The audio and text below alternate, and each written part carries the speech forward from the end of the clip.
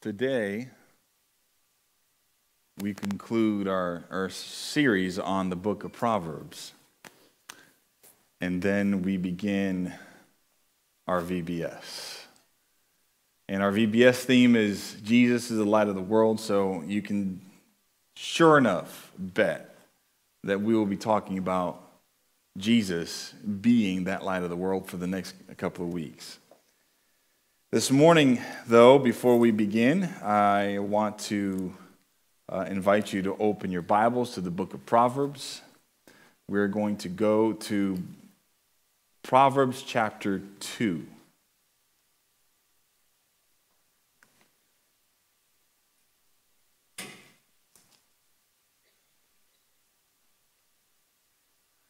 And we're going to be reading the very first four verses together.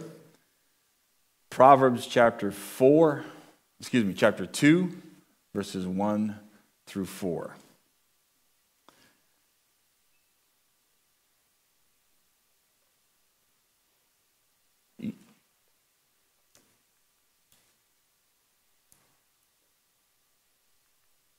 There it is. Nope, this is not the right. Um, Hold on. Yeah, but that's not the right slide. Go to the next one. We're having issues again. Scratch, scratch the. Uh, don't don't use that. I'm not going to bother with that. Um, too many issues going on. There are too many things happening that sometimes make you go, hmm.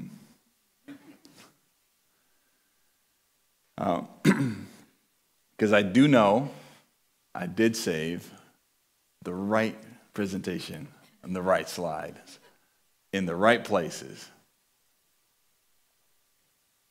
But there's something about today's message that somebody here needs to hear that somebody doesn't want you to hear. So, having seen this glitch before, I invite you to bow your heads with me before we read God's word. Father God, we are grateful for this opportunity. We are grateful for this moment in time that we have to open your word and to dive in. So I pray, Father, as that you will keep us safe. Open our minds and our hearts to hear you this morning. Lord, may we see you through this scriptures, we pray in Jesus' name. Amen. Proverbs chapter 2, verse 1, it says, My son, let me pause here for a minute.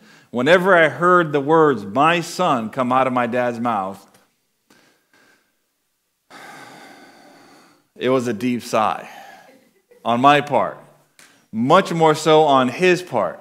My son. I knew that when I heard those words that I knew my ears needed to be in tune. You know, to be in tune today, kids are in tuned to a screen. I grew up in a time where we had to tune the antenna to the right frequency so the, the screen could be clear. Some of you are laughing. Some of you remember. Some of you saying amen. I don't want those times back again. I like my clear, high def picture. However, to be in tune, you must means that you are able to see clearly. And so here it starts out, my son, if you receive my words and treasure my commands within you, so that you incline your ear to wisdom and apply your heart to understanding. Yes, if you cry out for discernment and lift up your voice for understanding. If you seek her as silver and search for her as for hidden treasures. Let me pause there. Did you notice the amount of times the word if comes up? If you receive my words and treasure my commands within you, so that you incline your ear to your ear to wisdom and apply your heart to understanding. It's interesting here that the word receive in the um, Hebrew talks about possession. Do you know when the first time the word, this word is used in the Old Testament? Probably not, because in the Hebrew, most of you, if not all of you, well, maybe not Rick, but most of you have not studied Hebrew before. But the word Hebrew, the word, excuse me, the word here that is used in, in, in our English language to receive, if you receive my words, is the same word that is used for the word take.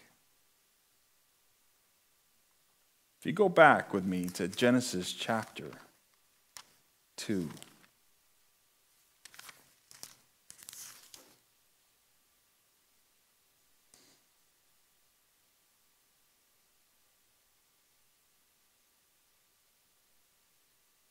Verse 21. And the Lord God caused a deep sleep to fall upon Adam, and he slept. And he took one of the ribs and closed up the flesh in its place. Then the rib which the Lord God had taken from man, he made into a woman, and he brought her to the man.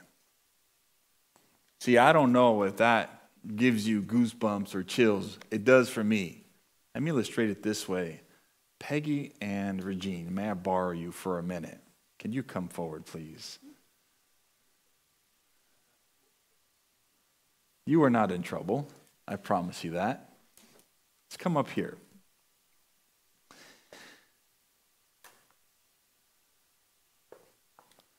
Now, here's Adam. And God saw Adam and he caused him to go into a deep sleep. Don't, don't, don't close your eyes. And he took a rib from him and held it in his hand. He possessed it. And he took that rib and he fashioned it and placed it onto the woman.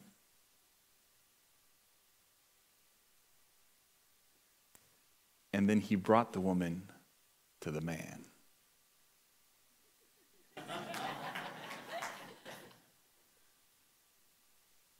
to take. There's another part of the Bible that says, and, and he took her to be his wife. Thank you.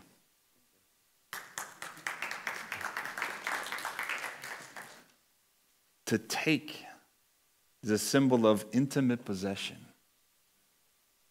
To take and to hear what, what Solomon is saying here in this instance in the book of Proverbs, when you receive, when you take my words, when you take the commands that I'm giving you, when, I'm, when you take the instructions, it's synonymous to receiving because you internalize it and it becomes a part of you. So it's not just, Steve, take my Bible. He took my Bible. We often, thank you, we often look at receiving as a formal, as a form of an action that is superficial and not intimate. Not in this case. He's saying, if you receive my words and you internalize it, there's another word in, in, in, in the Hebrew language. If you open to Deuteronomy chapter 6, verse 7.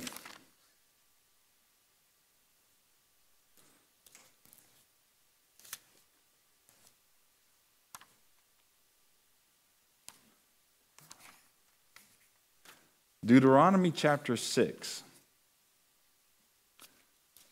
verse 7.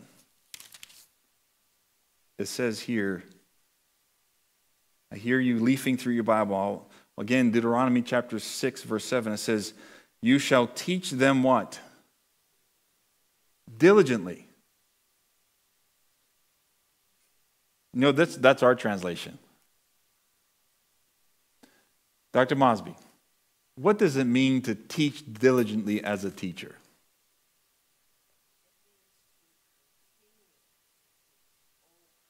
Over and over. I got it, Dad. Right? I got it, Dr. Mosby. I heard you a thousand times already.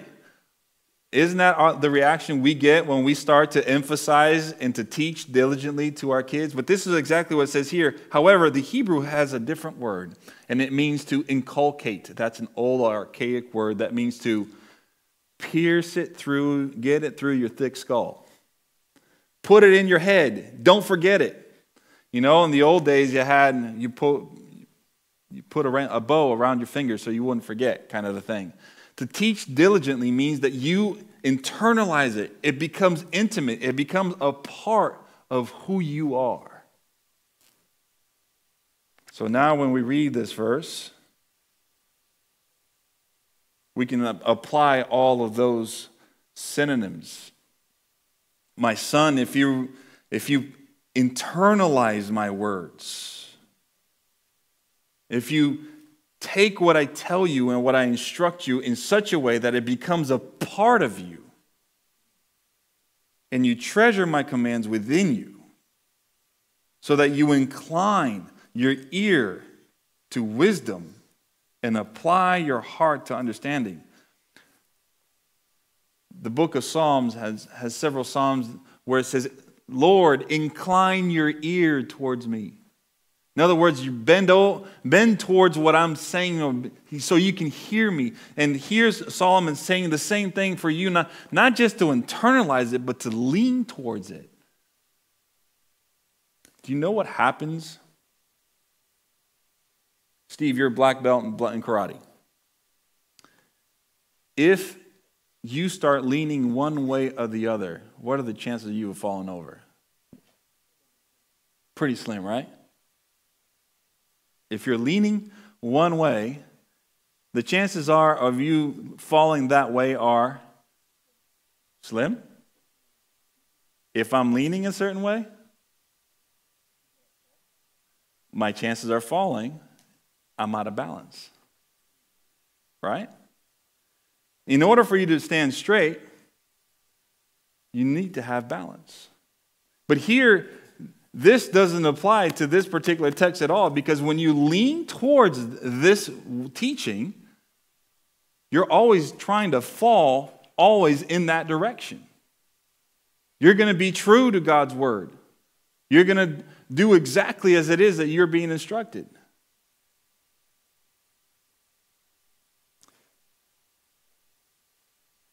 Let's continue. Yes.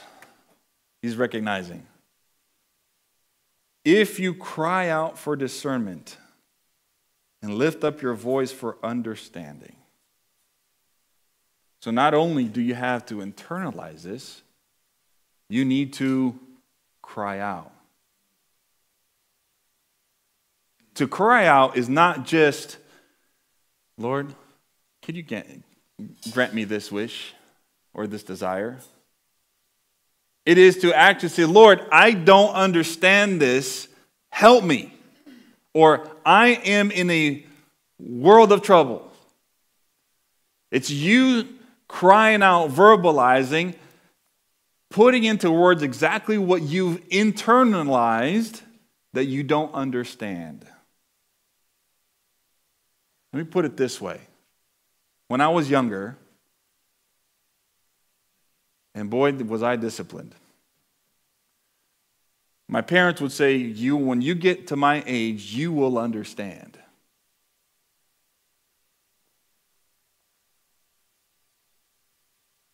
And I really didn't understand until I got, became a father. There are times when we don't understand even those that Even, even those things that have been asked of us to do. Right? When you're a young person, why can't I do this? Let me, let me put something out there really easy for you, most of you to understand. When you're younger, you want to do things, a lot of things. And then some of you may have gotten the reply, well, we don't do that because it's Sabbath. Or we don't go to this place because we are Christians or Seventh day Adventists, more specifically. We don't do this because it doesn't fall in line with our conduct and with our instructions that God has given us. But yet, we don't fully understand those instructions until we cry out until we say, Hey, Lord, I don't get this. Help me. It says, and lift up your voice for understanding. If, verse 4, if you seek her as silver. I was like, what in the world? Who wants silver? Who would rather have gold than silver? Especially in today's price for an ounce. Silver per ounce today, $24 and change per ounce. Gold, on the other hand, $1,927 per ounce. Who wants gold? So, why in the world did Solomon say, if you seek her as silver? Does that mean that you have to be satisfied with less than the best? No. See, back in those times, silver was much harder to come by than gold. To a point that only royalty had silver because it was so rare, even though gold is far more valuable. In the Egyptian times, the pharaohs would have silver jewelry because they're the only ones who had the resources to send somebody to find them. And so when Solomon, being the wisest man, lived in that, during that time where the Egyptian empire was at its zenith, he says, when you search for her as silver, in other words, you're going out intentionally and you're going after this thing because that's your mission. Because it's hard to find.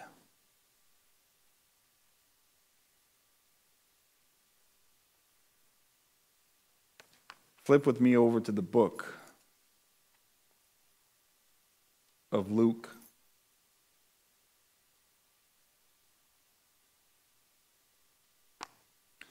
Chapter 11.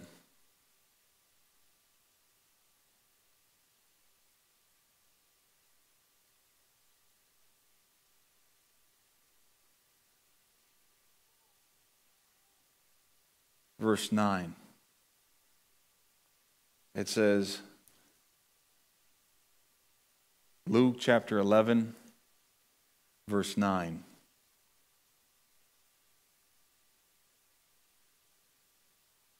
So I say to you, ask, and it will be given to you. Seek, and you will find. Knock, and it will be open to you. For everyone who seeks, who asks, receives, and everyone who seeks, finds. And to him who knocks, it will be opened. What is interesting is the parable that comes next to it. Right? How many of you here have ever woken up a neighbor and asked them for a favor because you had something that they ha- you knew they had, but you couldn't get it because of the time of day. A Cup of sugar, flour, gas, lawnmower. You fill in that blank. Jesus is now tell, telling a parable is how many of you go to your neighbor and you wake him up in the middle of the night and you ask him, Hey, I got company coming over. Can you let me some eggs? And then the reply is, Man, everybody's asleep. Let's go back to bed. But you keep nagging that neighbor until he gets up and he gives it to you. Jesus is comparing us, those that are looking for something, to seek Him. That's what searching for silver is. Continue to nag God for Him to reveal His purpose in your life. That's why He says, if you ask, it will be given. Seek, you will find. Knock, it will be opened. But He's not talking about material treasure. Because the context of this, mind you, back then in the, the Bible, the way it was written, did not have chapters and verses. So, what else do we find here in chapter 11? Very simple.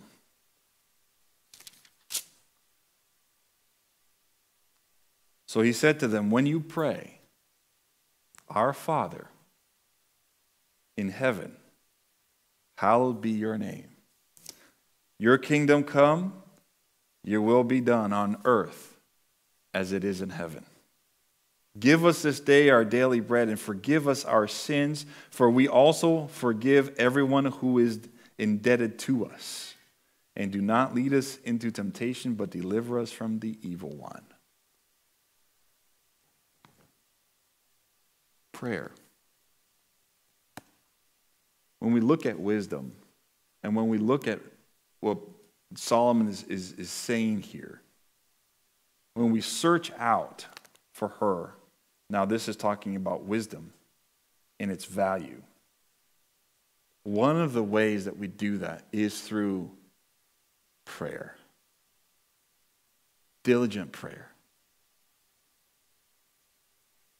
You are intentional in your prayer walk with God for Him to reveal His will for your life. You are intentional in what you're asking for. Lord, I don't get this. Why do I need to fill in the blank? Why do I need to return a tithe? Why do I need to keep the Sabbath? And I put need there in parentheses. You don't have to do anything. You can do whatever you want.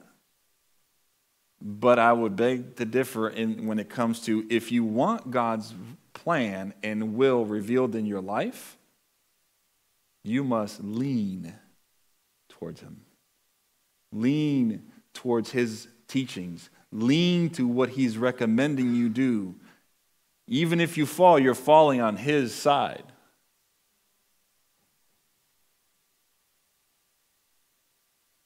When you search, because why? Verse 5. Check this out. Then, if there's an if, then there's a then. Then you will understand the fear of the Lord. I had to, I had to chuckle when I read this and find the knowledge of God. You know, the fear of the Lord is not respect as we have always been taught oh no the fear of the lord is to revere is to have a respect is to is to be reverent in front of the lord. Mm, no. The fear of the lord is obedience because you have searched him out because you have learned his teachings because he has taught you which way to go. And when you obey him you will understand. It's in the doing that we comprehend God's will, not in the theory. That is the fear of the Lord. It's not easy sometimes to obey. I get it. It is not easy. Because in order for me to obey, I have to give up my will. I have to give up my desire. I have to give up what I want in order for God to fulfill his want in me. That's why the fear of the Lord is difficult. Because it's you obeying God's command to you. And for you, Steve, it may be different than Danielle, than you, Cyrus, than you, Sharon, than anyone. And you, Regine, Rihanna, Alnado, Glenn. All of us, God calls us to do different things at different times because there's no set uniformity in the body of Christ. Because the gifts are various. Amen. And you all have different things to bring to the table. However, God's will for your life begins with you understanding that you must obey in order to live God's plan. That's the hard part. That's the challenge because I have to give up my will. My will. Let's go back to Proverbs. I'm going to jump down verses 6 through all the way through 20. talks about two different types of circumstances you can find yourself in if you don't listen. I'm not going to spend time on this. But I do want to I want to jump down all the way to verse 20. These two these two circumstances though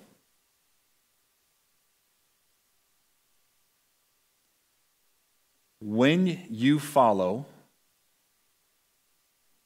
God provides. In a, in a nutshell. When you don't follow, remember the illustration I made in the very beginning of the sermon with a husband and a wife. The worst sin to a humankind is the rupture of family. Because the family is the first thing God instituted after the Sabbath. He's the first thing that God gave as a blessing to man. He says, Here, not good for man to be alone. When you don't follow the counsel, you run the risk of committing adultery. And there's tons of what that is here. But let's jump down to verse 20. So, why do we Listen, so you may walk in the way of goodness and keep to the paths of righteousness. See this, please don't misunderstand righteousness as you being good enough. You will never be good enough. You can never do enough to earn your salvation but it does keep you in the path of righteousness from means not doing evil. For the upright will dwell in the land, and the blameless will remain in it. But the wicked will be cut off from the earth, and the faith, the unfaithful will be uprooted from it. See, this morning,